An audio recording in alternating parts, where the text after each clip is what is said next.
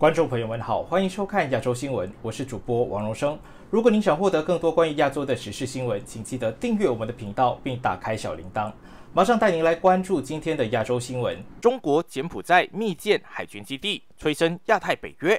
那《华盛顿邮报》引述西方官员的说法报道，中国正在柬埔寨秘密建造海军设施，专供中国军方使用，但遭两国否认。澳洲新总理对此表示关切，呼吁中国将意图透明化。中国一方面增加扩张海军军力，一方面高调反对美国及其盟友塑造亚太北约。那透露消息的西方官员们，基于事件敏感性，都不愿具名。他们说，暹罗湾的柬埔寨云朗海军基地将有一处新设施新建来专供中国海军使用。那这座基地多年来一直是美柬关系的痛处，美方长期以来一直怀疑基地正在被中国使用，借此部署军事前哨网络，来巩固国际影响力。那美国副国务卿谢尔曼二零二一年六月一日在金边对柬埔寨首相洪森表示，美国对中国在柬埔寨建立军事设施严重关注。柬埔寨方面一直否认相关报道，称基地的发展计划根本不是秘密。柬埔寨政府发言人派西潘告诉法新社，柬埔寨不会让中国军方专门利用这一处基地或发展为他们的军事基地。但柬埔寨国防部长与中国大使将参加六月八日的动土典礼。新设施包括了一座修船厂和一处码头。那柬埔寨总理洪森多次坚称，基地建设只是让基地更加现代化，在中国的帮助下建造一处新的船只维修设施。他上月发表演说时就说，柬埔寨的领土上不需要有外国军队的存在。那中国当局同样否认新建设施专供中国海军使用。有关这一处基地的关切，可以回溯到二零一九年，当时《华尔街日报》报道，中柬之间有一份秘密草案，允许北京在这一处基地停泊军舰。正在印尼访问的澳洲新总理阿尔巴尼斯表示，这则报道令人关切。他希望加强与印尼外交关系，以对抗中国在此区域日益增长的野心。澳洲对于北京在太平洋地区逐渐增长的影响力越来越感到忧心。澳洲新总理就告诉记者：“我们鼓励北京对他们的意图保持透明，并确保他们的活动有助区域安全与稳定。”那中国第一个海外军事基地，二零一七年在非洲国家吉布提建成启用。那美国国防部的报告就说，中国继续在世界其他地区谋求建立军事设施，以支持其对外军力投放。那稍早前，中国与南太平洋岛国所罗门群岛签订了迄今为止仍然对外隐蔽的安全协议。那据信，这一项协议最终将允许中国在所罗门群岛建立军事基地。中所双方都否认这个说法。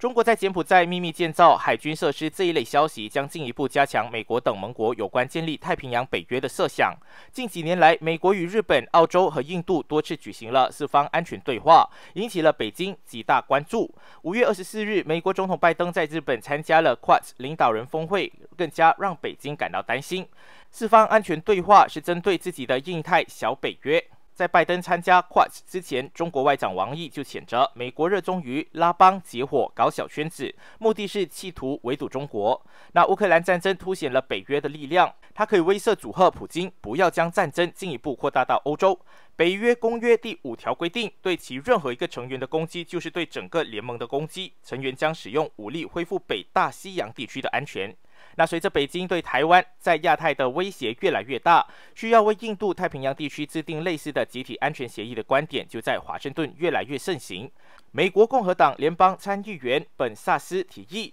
美国应该建立一个太平洋北约来反击习近平主席扩大影响力的举动。那萨斯还强调，美国应该废除对台战略模糊的政策，要提出一个明确的安全保障。萨斯就认为，美国应该在全球舞台上发挥决定性的作用，并确保其在二零三零年仍然是一个超级大国。萨斯上周是在加州罗纳德里根总统图书馆的演讲时说：“那欧洲的北约是一直历史上最伟大的条约组织。那他守住了对抗苏联的防线，现在他也守住了对抗血腥普京的防线。”他说：“但随着习近平主席寻求扩大他的影响力范围，我们需要一个以太平洋为中心的新军事联盟。”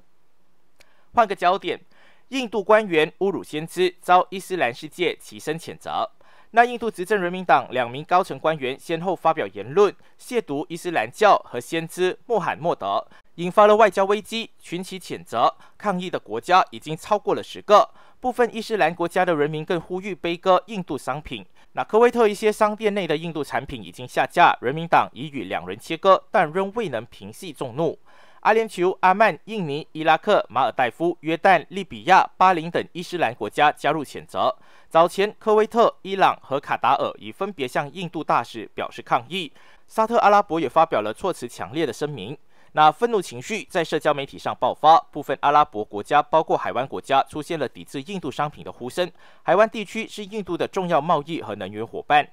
事情的源头是印度人民党 BJP 女发言人夏尔玛在上个月出席注意新闻频道的电视评论时，对穆斯林崇拜和先知穆罕默德做出贬损评论，并嘲笑穆斯林辩论对手。相关影片在网上疯传，而担任该党新德里分部媒体负责人的金德尔就此问题发布推文，内容同样具挑衅性，后来删除。批评者就指出，两人的言论反映了印度过去几年出现的深刻的宗教分化。自二零一四年人民党上台以来，针对穆斯林的仇恨言论和攻击事件急剧增加，特别是夏尔玛的言论，激怒了国内的少数民族穆斯林社区。印度金融中心孟买和其他城市在周一举行了抗议活动，有人要求逮捕夏尔马。夏尔马事后在声明中宣称，他之所以会说出那番话，是因为有人侮辱印度教的天神在先，并说自己的话遭到断章取义。那希尔马和金德尔都已经公开道歉，前者遭停职，后者被开除。人民党发声明说，人民党强烈谴责对任何宗教的任何宗教人士的侮辱。人民党也反对任何侮辱或贬低任何教派或宗教的意识形态。那人民党不提倡这种人或理念，但人民党的切割似乎未能平息众怒。那沙特阿拉伯发出措辞强硬的声明说，外交部对印度人民党发言人的言论表示谴责和公开批评，形容相关言论是侮辱。那并呼吁尊重信仰和宗教。卡塔尔明言，希望印度政府公开道歉，并立即谴责这些言论。外交国务大臣萨阿德在声明中指出，这些侮辱性的言论将导致煽动宗教仇恨，并冒犯全球范围内超过二十亿的穆斯林。科威特就警告，如果针对先知穆罕默德的言论不受到惩罚，那么印度的极端主义和仇恨主义将会进一步增加。阿曼甚至把莫迪政党的反伊斯兰教言论定义为一场战争。反伊斯兰的言论，这也在印度的主要对手和邻国巴基斯坦以及阿富汗境内引起了愤怒。巴基斯坦外交部周一召见了一名印度外交官，表示强烈谴责。由五十七个成员国组成的伊斯兰会议组织 （OIC） 表示，这些言论是在印度对伊斯兰教的仇恨和敌对加剧，以及针对穆斯林的系统性迫害的背景下发表的。印度外交部周一驳斥，称其毫无根据且狭义。乌克兰粮食有望恢复出口。莫斯科方面六月七日表示，被俄军攻占的亚速海上两个主要乌克兰港口已经准备好恢复粮食出口。不过，克里姆林宫也向基辅方面喊话，要求乌克兰清除布设在港口航道上的水雷。此前，为阻止俄罗斯军舰进攻，乌军在其主要港口外都布设了水雷。在过去三个多月中，俄军已经夺取了乌克兰的大部分海岸线，并且控制了黑海的重要航道，导致具有欧洲粮仓之称的乌克兰粮食出口贸易受阻。全球粮价被推高，乌克兰以及西方国家由此指责俄罗斯将粮食作为武器，俄罗斯则将当前形势归咎于西方制裁以及乌克兰为阻止俄军进攻而在自家港口布设的水雷。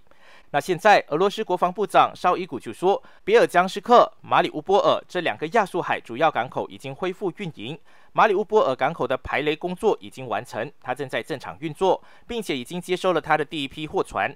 俄罗斯总统府发言人佩斯科夫也说，在排雷工作完成后，将允许船只经过他们的军队检查，确保他们没有携带任何武器后进入港口装载粮食，并在他们的帮助下前往国际水域。亚速海位于克里米亚半岛的东侧，战前由俄乌两国共享。目前，俄军已经控制了整个亚速海水域及全部海岸线。而在克里米亚半岛西侧，乌克兰的黑海重要港口奥德萨虽然还没有被俄军攻占，但也遭到了围困。在上星期，俄军宣布的新阶段目标中，以奥德萨为中心的半岛西侧海岸线赫然在列。如果俄罗斯实现了这一阶段目标，这就意味着乌克兰丧失全部的出海口，沦为内陆国。俄罗斯方面并没有明确其攻占的港口是否会允许仍然由乌克兰控制的部分出产的粮食出口。那基辅此前已经指责俄罗斯偷取了乌克兰的重要粮食供给。俄罗斯和乌克兰几乎占了世界小麦供应的三分之一。俄罗斯也是一个重要的化肥出口国。那乌克兰则是玉米和葵花籽油主要出口国。鉴于全球粮价上涨，联合国正在和俄乌双方商讨如何重启乌克兰港口粮食出口的方案。根据设想，土耳其海军有可能为商船护航，以确保其安全进出黑海。俄罗斯外长拉夫罗夫将在六月八日到访土耳其，讨论这些提议。俄罗斯总统普京已经在上星期对非洲联盟表示，愿意保障被封锁地区向非洲国家出口粮食和化肥。此前，俄罗斯消息报还披露了克里姆林宫可能重新允许乌克兰粮食从奥德萨出口的消息。那这家清政府的报纸称，莫斯科已经和基辅和安卡拉达成了协议，允许商业船只从仍被俄军围困的奥德萨港运送粮食。那报道就援引俄罗斯政府内部消息称，莫斯科的计划是在乌克兰领海范围内由土耳其海军负责清除水雷，为商船护航；而在乌克兰领海外，则由俄海军负责护航。那一直到由土耳其控制的博斯普鲁斯海峡，乌克兰方面未对这则报道予以证实。乌克兰总统泽连斯基六月六日就表示，正在与英国、土耳其商讨由第三国海军保障在黑海的乌克兰粮食出口通行权。泽连斯基同时也强调，需要更多的反舰武器来确保乌克兰粮食出口的安全。乌克兰农业部六月七日就表示，与今年四月相比，乌克兰粮食、油菜籽、植物油等农产品出口增长百分之八十，达到了一百七十四点三万吨，但仍然没有回升到俄罗斯入侵前的每月六百万吨水平。乌克兰农业部副部长维索茨基就说，如果俄罗斯继续封锁黑海海岸线，未来每月最多只能出口两百万吨的农产品。